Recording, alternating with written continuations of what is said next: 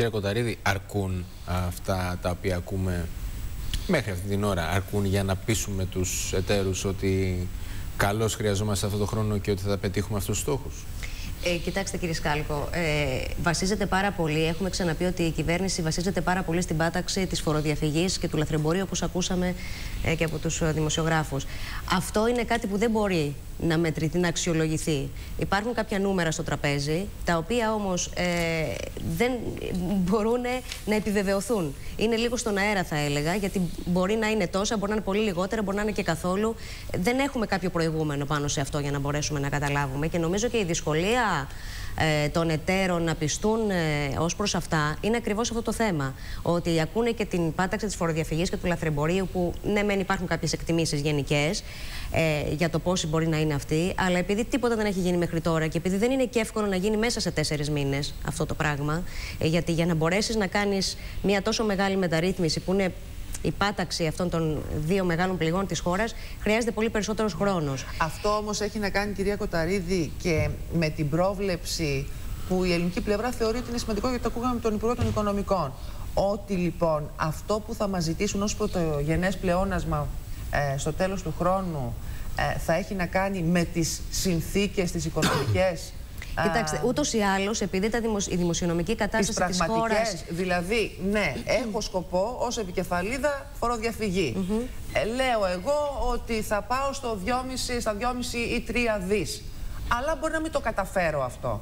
Άρα λοιπόν, τα έσοδα που θα μαζέψω από αυτό θα είναι λιγότερα ή από άλλους τομείς τέτοιους. Οπότε ε, και εσύ δες πώς θα κλείσει το πρωτογενές πλεόνασμα. Μην μου ζητάς το 3% που είναι υπογεγραμμένο τώρα. Σωστό, σωστό είναι αυτό.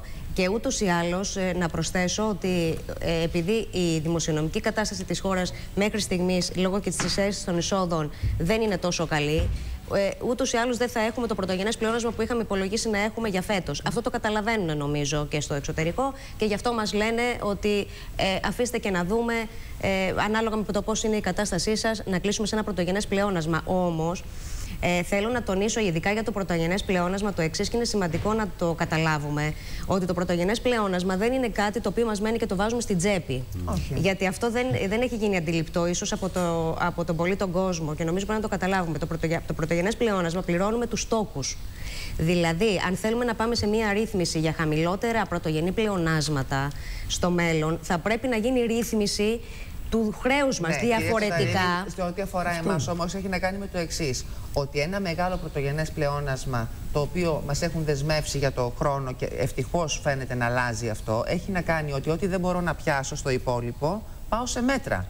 Ακριβώς αυτό θέλω να πάω σε μέτρα. Πρέπει να πληρώσω τόκους. Η προηγούμενη κυβέρνηση δεν έλεγε ότι θα σας δώσω, ξέρω εγώ, στους ένστολους αυτούς από ό,τι πήγαινε από το πρωτογενέ πλεόνασμα. Έχουμε υποχρέωση ένα μερίδιο, το 70% Όχι, εγώ το ξέρω, αλλά. Ναι. ναι, να, να δίνεται στου τόκους και το υπόλοιπο 30% να διοικητεύεται στην οικονομία. Όμως, αν έχουμε πολύ μικρό ε, πρωτογενές πλεόνασμα, σημαίνει ότι μας λείπουν περισσότερα χρήματα για να πληρώσουμε τους στόχους μας.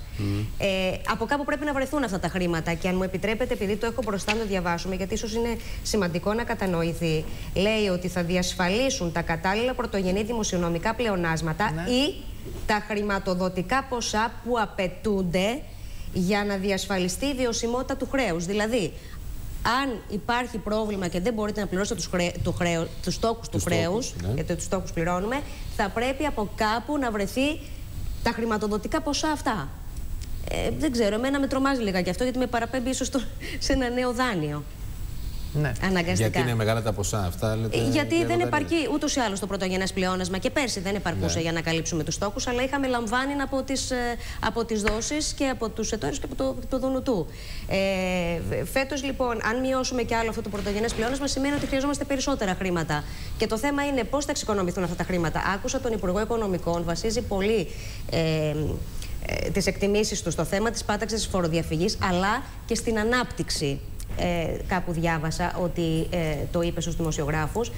Και βεβαίως η, βιωσιμότητα του χρέους θέλετε να σας πω. είχε να κάνει με αυτό. Δηλαδή το ότι έτσι κι αλλιώς τα ρύθμιζε, μάλλον οι αναλογίες ήταν και οι παραπομπές στον ρυθμό ανάπτυξης που θα ναι, έχει η διότι η βιωσιμότητα ενός χρέους εξαρτάται από αυτούς τους δύο βασικούς παράγοντες. Από τα πρωτογενή πλεόνασματα και από την ανάπτυξη. Άρα λοιπόν Ένα θέμα είναι τα πρωτογενή πλεονάσματα, άλλο θέμα είναι η ανάπτυξη. Μέχρι στιγμής η ανάπτυξη πάει με τον αραμπάκι χειρότερα, θα Ανεμική. έλεγα. Ανεμική. Και Πολύ ανεμική και δεν, βλ- και δεν έχω ακούσει προσωπικά ε, πώς θα φτάσουμε σε αυτή την ανάπτυξη. Γιατί βρισκόμαστε σε μια ε, διαδικασία διαπραγμάτευση αυτή τη στιγμή και κοιτάμε να λύσουμε πράγματα, αλλά να μην περάσουν ίσως σκληρά μέτρα κτλ.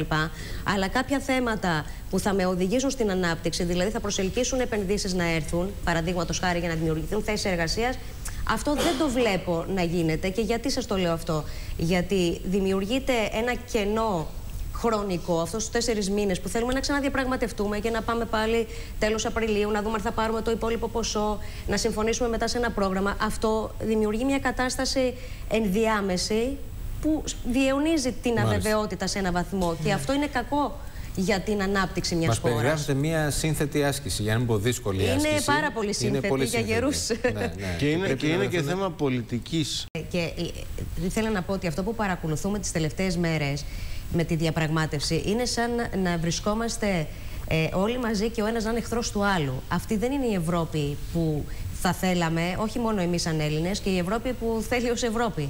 Δεν, ε, όταν θέλουμε να διαπραγματευτούμε, πρέπει να διαπραγματευόμαστε σαν να νομίζουμε ότι είμαστε σε μια οικογένεια και προσπαθούμε να κάνουμε μια ουσιαστική Τι να συζήτηση. το νομίζουμε, κυρία Πάντως δεν Κοταρίδη. ήταν Εδώ ποτέ αυτά έτσι η που Ευρώπη. βγαίνουν είναι ότι μας πηγαίνανε για ξαφνικό θάνατο τώρα. Αυτό Ναι. είναι αλήθεια. Ναι, Ποιος- αυτό και λέω. αυτό Άρα παραμένει. λοιπόν είναι πολύ σωστή η παρατήρηση του κ. Μιχαλέλου ότι, Ποιοι πρέπει να, να το πάμε, καταλάβουν ότι αυτό; πρέπει να πάμε σε μια άλλη ε, κατάσταση στην Ευρώπη. Πρέπει να μάθουμε να συμπεριφερόμαστε διαφορετικά. Και αυτό πρέπει να Μα γίνει με όσους- την ουσιαστική και πολιτική Πάντως, πάντως ενοποίηση. οι Γερμανοί ε, και ειδικά ως Ε, αυτό που ήθελε να κάνει η νέα κυβέρνηση ήταν να θέσει το πολιτικό ζήτημα εν ώψη και της ε, αγανάκτησης του κόσμου αλλά και της αλλαγής του κλίματος γενικά στην Ευρώπη εναντίον της λιτότητας. Άρα ήθελε να θέσει ε, στη βάση το, την πολιτική τη διαπραγμάτευση και έτσι ε, πήγε και μίλησε πολιτικά. Αυτό δεν άρεσε στους εταίρους. Οι εταίροι ζητούσαν από την αρχή, όταν ειδικά ε, ζητούμε να πάρουμε και χρήματα, κοστολογημένα βήματα, κοστολογημένες δράσεις, το οποίο αυτό δεν το είδαν. Ε, στα, τουλάχιστον στα δύο πρώτα Euro, και Eurogroup, αλλά νομίζω και καθόλου δεν το είδαν και από ό,τι πληροφορούμε και διαβάζουμε, ε, ακόμα και η, η λίστα που θα σταλεί σήμερα και αυτή δεν είναι κοστολογημένη. Είναι πάλι ε, μία λίστα μεταρρυθμίσεων χωρίς ε, συγκεκριμένα ποσά.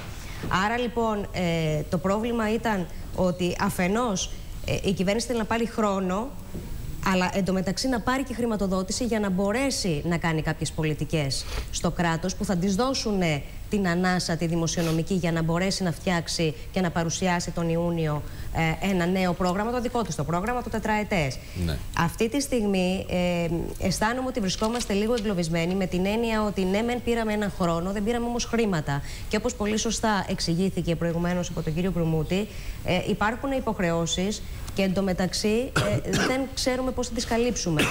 και με αφορμή το γεγονός ότι ήδη υπάρχουν δύο δις στέρηση στα έσοδα από Δεκέμβριο και Ιανουάριο.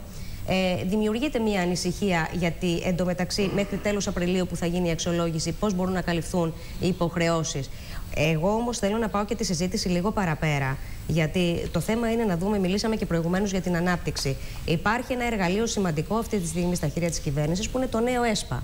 Λοιπόν, το νέο ΕΣΠΑ νομίζω ότι θε- πρέπει να πέσει στο τραπέζι, πρέπει να δει πώς μπορεί να αξιολογηθεί και να τρέξει όσο γίνεται πιο Άμεσα. γρήγορα, άμεσα, γιατί από εκεί θα προέλθει και κάποιες πολιτικές, κάποια βήματα που θα μπορέσουν να μας δώσουν, να δημιουργήσουν κάποιες θέσεις εργασίας, Το- να το- φέρουν το κάποια οποίο χρήματα και στην αυτό αγορά. Έχει στόχευση που θα χρησιμοποιηθεί, έτσι; Αυτό Τα- από, τα ό,τι, ΕΣΠΑ. από ό,τι διαβάζω, βεβαίως είχε γίνει προγραμματισμός. Θέλουν να αλλάξουν κάποιες δράσεις του ΕΣΠΑ, όπως διαβάζω. Αυτό πάλι θα έχει χρόνο. Ναι. Δεν σημαίνει ότι είναι κακό το να αλλάξεις κάποιες δράσεις γιατί πιστεύεις ότι ε, κάπου αλλού θα σου αποδώσουν καλύτερα. Το πρόβλημα όμως όμως είναι ο χρόνος. Ότι εδώ πέρα τρέχουμε με το χρόνο. Αυτός είναι ο αντιπαλός μας. Και μην ξεχνάμε ότι η προηγούμενη κυβέρνηση μόλις το Δεκέμβριο κατάφερε να ψηφίσει το νόμο για το νέο Ναι, ΕΣΠΑ. ναι, ακριβώς, ε, ακριβώς. Και το δεύτερο πράγμα είναι να, να, να είμαστε πολύ προσεκτικοί, να μην μείνουμε απ' έξω από την ποσοτική χαλάρωση του Ντράγκη. Γιατί τώρα πια που και η Ευρώπη κατάλαβε, ε, Σωστό πλην είναι της αυτό. Γερμανίας ενδεχομένως, αλλά αναγκάστηκε να το δεχτεί, ε, κατάλαβε ότι δεν μπορούμε να συνεχίσουμε με λιτότητα και πρέπει να δώσουμε λίγο, ε, να πέσει λίγο χρήμα στην αγορά για να κινηθεί, να ζεσταθεί λίγο η οικονομία, όπως λέμε. Ε, ε, τώρα λοιπόν εμείς δεν πρέπει να μείνουμε απ' έξω. Το, το, πρέπει να προσέξουμε πάρα πολύ, να μπούμε σε αυτό το όχημα, να μπορέσουμε κι εμείς να α, α, ωφεληθούμε από αυτή την ποσοτική χαλάρωση. Άρα λοιπόν, εγώ νομίζω θέλει βήματα γρήγορα, Θέλει κινήσεις γρήγορα, τουλάχιστον στο ΕΣΠΑ που το έχουμε μπροστά μας αυτή τη στιγμή και μπορούμε να αξιοποιήσουμε Ναι. κονδύλια για να τρέξουν λίγο τα πράγματα. Με ανησυχεί το γεγονός ότι δεν υπάρχουν χρήματα αυτά τους τέσσερις μήνες, δεν μπορέσαμε να πάρουμε κάτι. Αλλά τουλάχιστον να δούμε πώς μπορούμε ε, με, με το ΕΣΠΑ και Λοιπόν. πώς μπορούμε να μπούμε μέσα στην ε, ποσοτική Ε, χαλάρωση. Να πάρω την